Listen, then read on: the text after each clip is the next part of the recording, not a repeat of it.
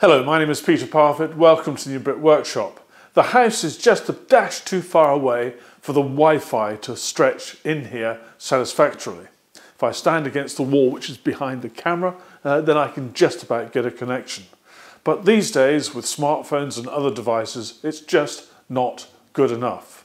And in the not too distant future, I'm going to be doing something else about uh, smartphones, particularly ruggedized ones. And so I need to be prepared for that. So I was out shopping the other day, not uh, to solve this problem, but I went into Maplin, which is a, a well-known electrical store here in the UK, and I saw what I think is probably going to be the perfect solution. It's made by a company called TP-Link, and it's part of a collection of devices they do which connect to your mains electricity supply and then allow you to extend uh, your home network uh, to any room or any part of the house on that same electrical network. And this particular kit is the AV500 and it's their Wi-Fi extension kit. Now I'm very grateful for the people at uh, TP-Link here in the UK who sent this Wi-Fi extender to me so I can show it to you. Let me just explain how this works. Let's look at a, a typical example. Here we have a house and someone on the ground floor, normally at the most remote part of the house, uh, you'll have your broadband router. And associated with that will be the Wi-Fi sending, receiving, transmitter receiving uh, device that serves the whole house. Now, if you're in uh, one of the other rooms and you want to get a connection to the internet, you've got two choices. Uh, you can either use the Wi-Fi network, uh, which is created uh, at your router, provided uh, it can reach that far, or you can have a wired connection with an Ethernet cable that runs all the way from the room up here, all the way to the back of the router. Now, in modern houses, uh, you may be lucky enough to have wires already built into the house that you can just plug in to extend an Ethernet wired connection. But in most houses, that's not possible. So you're relying on Wi-Fi. Now, if the Wi-Fi doesn't stretch to a particular room, how can you end up with a Wi-Fi service so you can be part of your extended home network? And that's where this AV500 kit from TP-Link comes into its own. And inside the box you've got two main components. You've got this power line adapter uh, which plugs into your household main supply and then has a connection, a wired connection to your uh, router in the house. And this provides uh, the connection from your uh, Ethernet uh, router uh, into your mains uh, wired network in the house. You then have this second device, which again plugs into the mains network of your house, but this time in the room where you want the Wi-Fi coverage to be. And it provides then a connection through the mains wiring to the power line adapter, which in turn is connected to your router.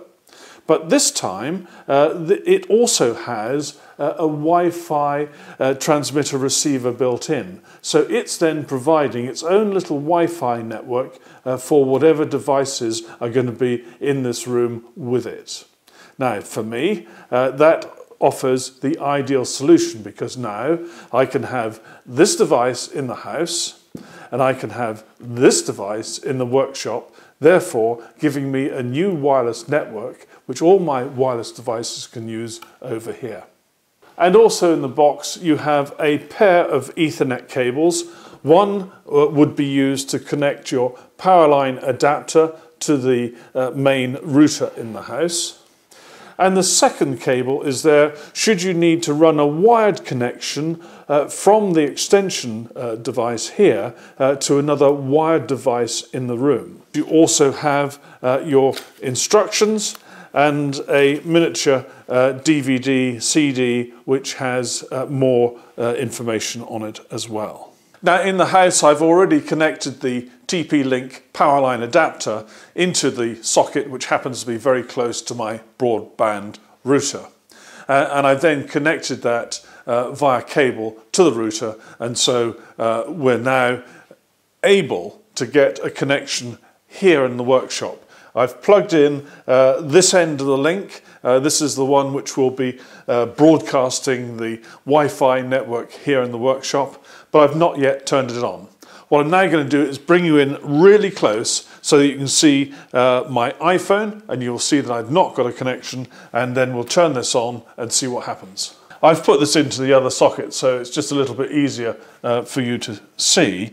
Uh, and here's my phone and just here's Wi-Fi and it says not connected.